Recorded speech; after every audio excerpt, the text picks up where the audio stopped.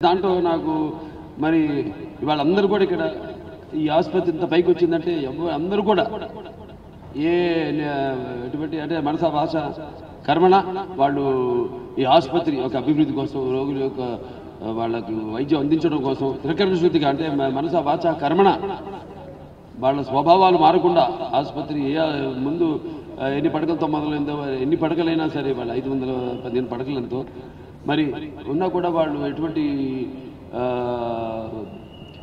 కేవలం వైద్య సేవ కోసమే అంకితమైన మా డాక్టర్లు అలాగే మా సిబ్బంది మా medical non medical nursing staff paramedical అందరూ కూడా వాళ్ళందరి వల్ల కూడా అలాగే మా member of board of trustees ఇంతకుముందు చైర్మన్గా చేసిన వాళ్ళే వారైతేనేమి లేకపోతే మెంబర్ ఆఫ్ బోర్డ్ ఆఫ్ ట్రస్టీస్గా చేసిన వాళ్ళైతే వాళ్ళందరి యొక్క అంకి అంకిత భావంతో పనిచేయడం వల్ల సేవలు అందించడం వల్ల ఇవాళ ఈ ఆసుపత్రి ఈ స్థాయికి చేరుకుంది.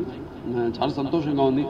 ఇవాళ అంటే ఒకటి బాధాకరం ఏంటంటే క్యాన్సర్. ఇంత ఇంతకుముందు మనం కార్డియో అనేవాళ్ళం నెంబర్ వన్ డిసీజ్ దేశంలో. రెండోది క్యాన్సర్. ఇవాళ ఇప్పుడు చూస్తే కరోనా.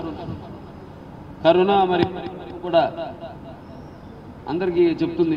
ఒకటేమో సోషల్ డిస్టెన్స్ సామాజిక దూరాన్ని పాటించమని అలాగే గుంపులుగా ఎక్కడ నిలబడద్దని ఇవన్నీ ఎన్నో కొన్ని ప్రభుత్వ ప్రభుత్వం నియమ నియ- నియమ- నియమ నిబంధనలు చేసి అందరూ కూడా వాటిని పాటించాలని మనస్ఫూర్తిగా కోరుతున్నాను. అతి త్వరలో కూడా ఈ కరోనా ఈ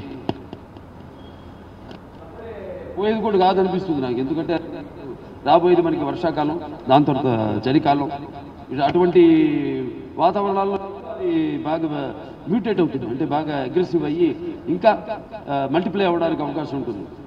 కాబట్టి అందరూ జాగ్రత్తగా ప్రభుత్వం లేకపోతే డాక్టర్లు మీరు మీ చేతుల్లో ఉంది. మీ ఆరోగ్యం మీ చేతుల్లో ఉంది కరోనా విషయానికి వస్తే.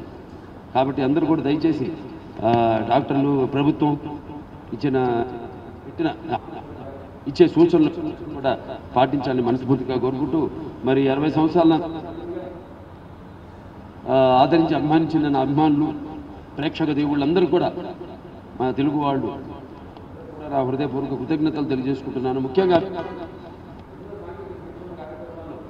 ఆనాడు నామారావు గారు ఒక స్ఫూర్తిదాత రాకముందు కూడా నేషనల్ డిఫెన్స్ ఫండ్ అని ఇలాగే దివిసీమ ఉప్పెన్ అని రాయలసీమ క్షామ నివారణ బట్టి నిధులు నేను నిధులు సేకరించాను ఆయన.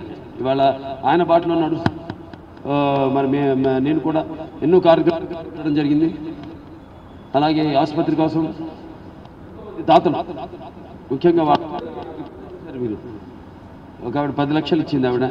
అలాగే ఆమె ఆమె? మేఘనారావు. ఆవిడ ఇప్పుడు పది లక్షలు ఇవ్వడం జరిగింది. అలాగే మన రాజుగారు ఉన్నారా అని ఎప్పుడు ప్రతి సంవత్సరం ఇస్తారు ఆసుపత్రికి. రాజుగారు. ఇలా ఇది no no profit no loss trust ఇది.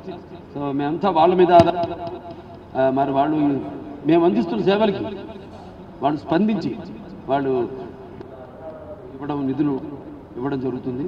సో ఈ ఆసుపత్రి ఇంకా ఇలాగే అందరూ కూడా కలిసికట్టుగా ఈ సేవల్ని ఈ ప్రజల యొక్క కోసమే చేస్తామని ఈ సందర్భంగా తెలియజేసుకుంటూ నేను సెలవు తీసుకుంటున్నాను.